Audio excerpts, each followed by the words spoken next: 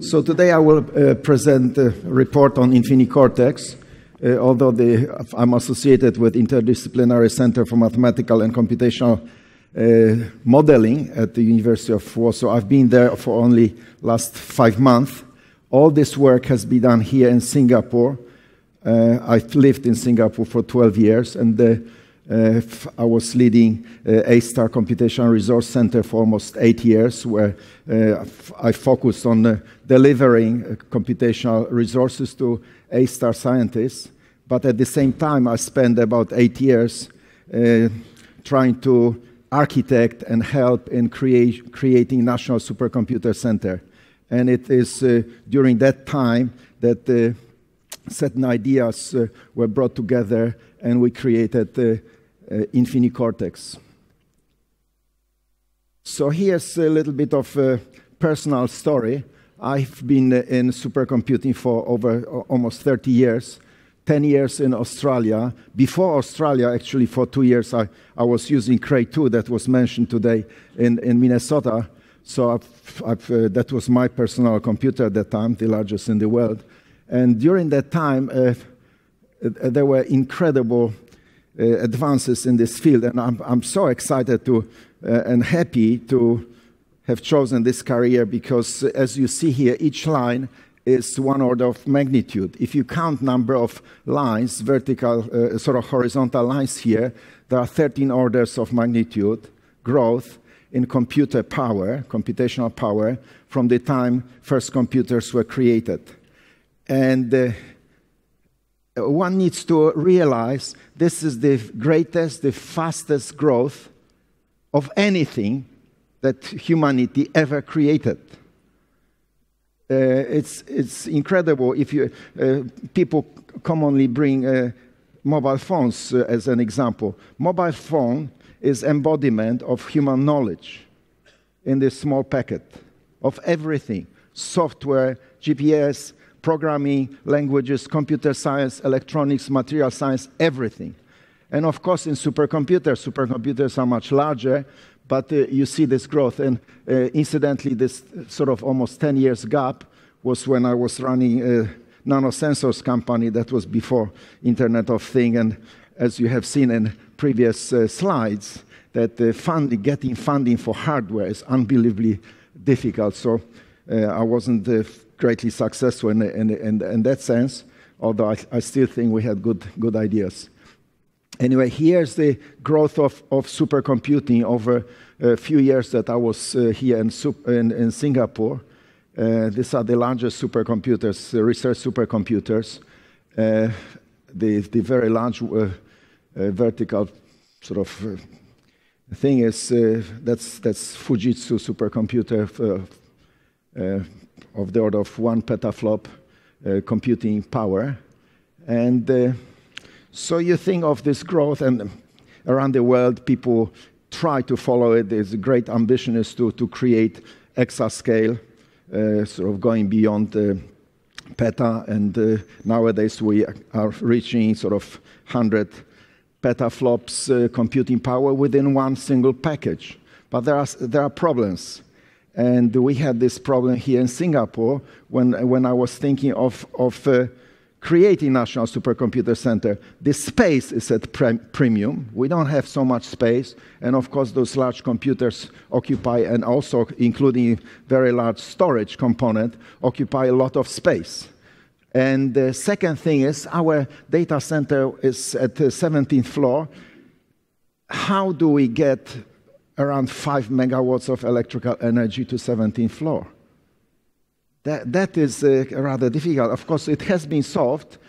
Uh, it's, it's there now. But uh, at that time, uh, we also had another data center in uh, Biopolis, about 1.2 kilometers away. And uh, I was thinking, how could we split supercomputer into, let's say, two components? How can you separate storage from compute part and make it the way that it will not uh, sacrifice performance. And uh, for this sort of distance, 1.2 kilometers, the latency is still not a problem. And uh, in high performance computing, we connect storage with compute part using InfiniBand. Uh, that's the highest sort of uh, performance. So uh, that was the sort of starting point for the idea. And then suddenly, sort of uh, this project erupted in a, in a huge big way.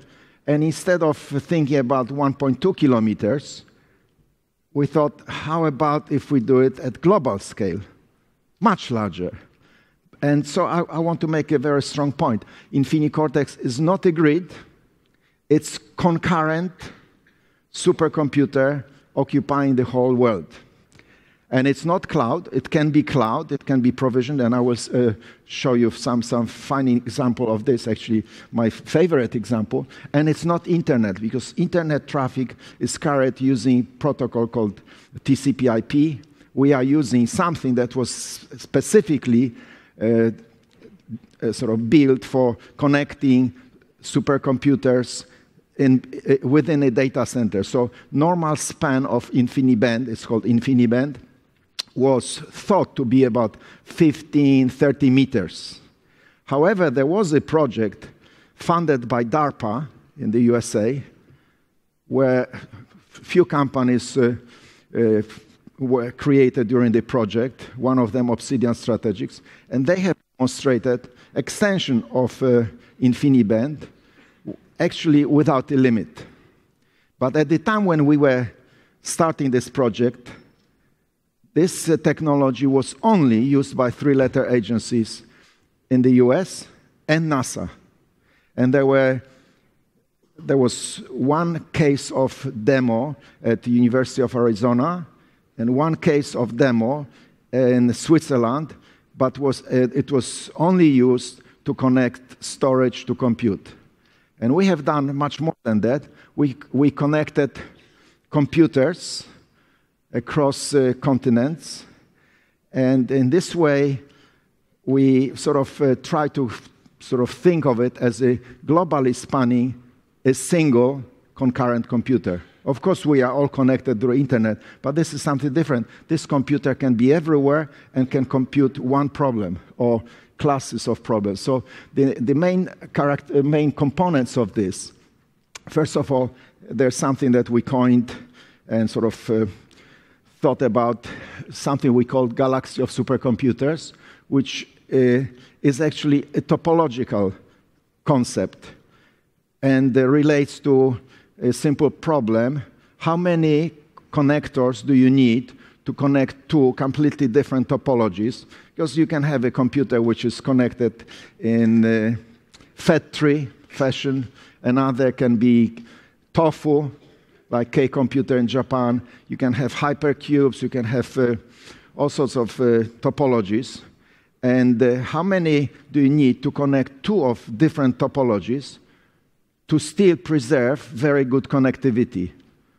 L a low diameter of a, of a new diagram, uh, very good uh, uh, sort of bandwidth for total bandwidth for, for the network.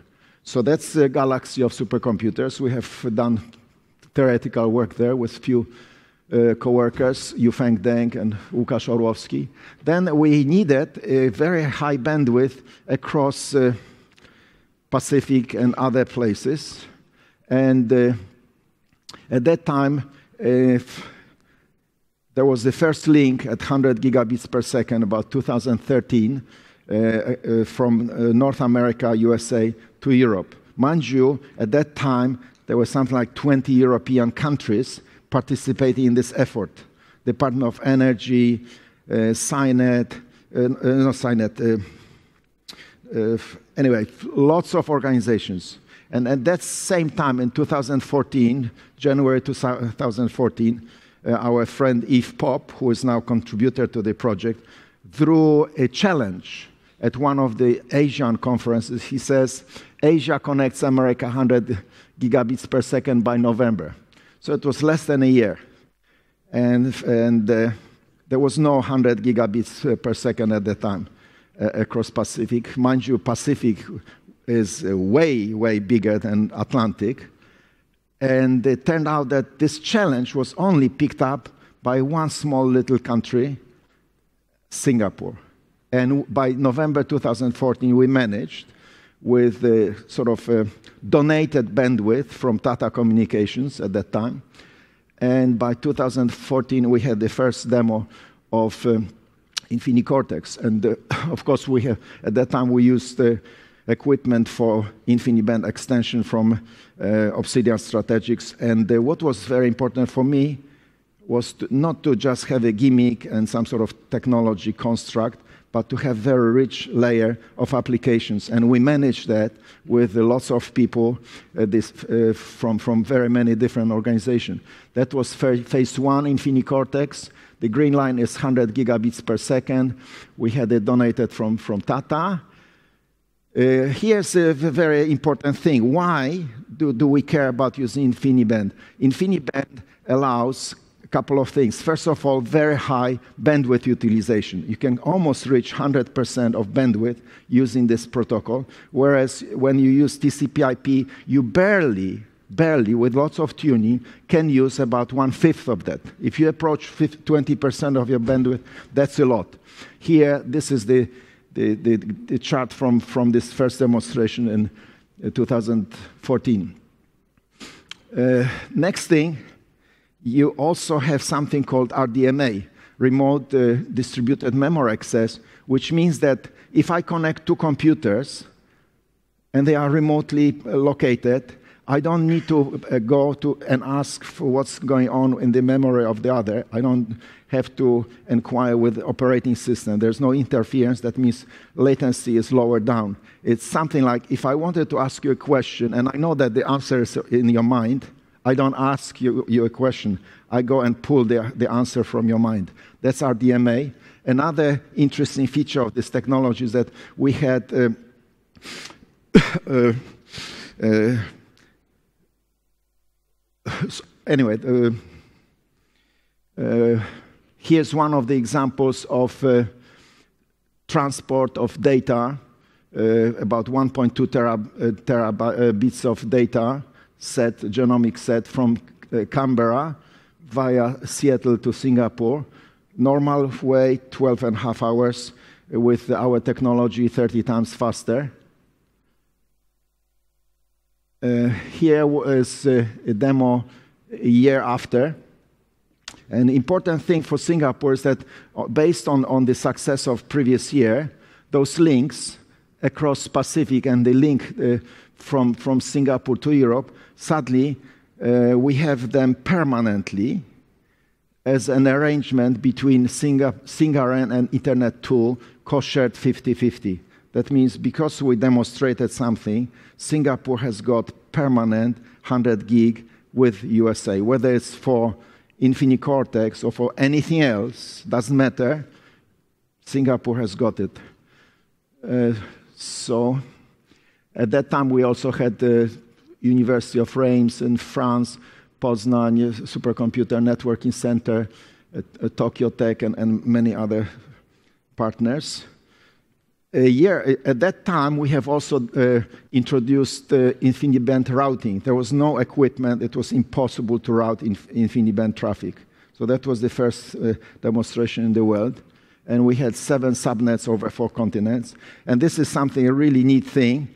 We had cloud, HPC true cloud of arbitrary sca- uh, scale over four continents. So imagine that you press a button on your keyboard and suddenly you switch on a global computer with software environment of your choosing running huge programs or smaller or workflows or all sorts of things and there's absolutely no, no, no geographical limit on that so i think that is the best cloud i have ever seen uh, here's an example of, of this uh, pipeline, genomic pipeline running on this, uh, on this InfiniCloud uh, thing over four continents. You see that there are computers uh, engaged in all sorts of uh, places.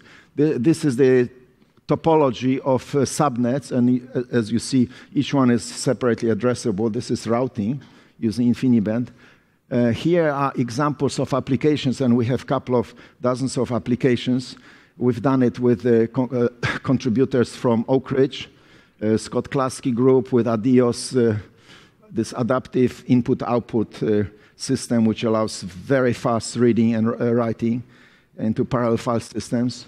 Uh, with Rutgers and the Fermilab. And uh, this, uh, this com computation that you see here, when they run on the, this is one of the largest supercomputer program ever created. it runs, for example, for the whole day on Jaguar or Titan nowadays, and it can cost $300,000 a run, single run. But they simulate what happens in the thermonuclear reactor. And uh, by observing those blobs, it, if the blob hits uh, actual prototype reactor, the reactor has to be shut down for several weeks and costs millions of dollars. So still better to run those sort of codes. And the, co the, the, the, experiments are done in, for example, in Korea, South Korea. The analysis and observation is done at the DOE labs in Oak Ridge. Of course, uh, there's extremely fast uh, uh, stream of, of images coming from, from this. So you need, you need to observe it. So uh, on the basis of, of, of this InfiniCortex project, uh, we've implemented very interesting solution for access nodes for supercomputer center. So now login nodes in all these uh, uh, universities are connected with InfiniBand, giving immediate access and a feel of, of immediacy to all the users. And of course, it will be extended to industrial centers. And uh, so the, this year we have done for the third time InfiniCortex demo. Now I'm, I'm in Poland. Poland is in a very uh, interesting situation. There are five uh, petaflop uh, supercomputers in five different centers. And Poland has got something absolutely unique. unique. There's something called Pionier Academic Network, uh, with the fiber spanning over 7,500 kilometers. And the fiber is owned by research institutions and connects various countries, all the neighboring countries, uh, Ukraine and uh, Belarus and Czech Republic, Slovak Republic, Germany. So, of course, there's a through traffic. And, uh, and this way, uh, the, the, research entities own this uh, network, which is different than here, because here, even with the traffic between the universities, the carriers are commercial companies. So that, that uh, lets us think of implementing uh, InfiniCortex in the country's uh, scale as a permanent uh, artifact, as an operational thing. So after three years of, of testing and demos, uh, I, I, hope that we will introduce and we'll connect uh, this. Here are people who contributed to project. Professor Tan Tin Wee, who is now a director of National Supercomputer Center, uh, great enthusiast of uh, international networking. Prof. Yuefan Deng on, on this work for, for topology. Yves Poppe, who helped us to, to get the bandwidth. David Southwell, who created uh, this uh, Obsidian you know, range extenders and routers. And we had lots of partners, very, very complex. Uh, uh, you can't do anything in networking without networking with people. And that's, that's how we have done this. And uh, now, now I postulate something uh, as if my final slide. Perhaps, perhaps we can risk a statement that the InfiniCortex can uh, constitute a new class of computers in the sense of Bell's law.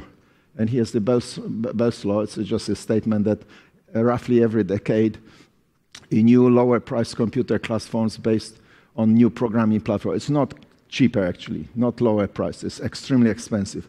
Supercomputers are expensive, but actually gives us, uh, if you think about it, about the energy pressure on the, uh, any particular site for a petascale or exascale computer, there's a drain in energy, there's a cost, and there's a limit, a physical limit of how, how large you can build. But now imagine that you connect 1,000 petascale computers, you have exascale computer. If you connect those biggest computers, if you, uh, of course, uh, if you need to have so much computing resource for a single problem. But then uh, that gives you three orders of magnitude immediately or more beyond what physically can be done. Thank you very much.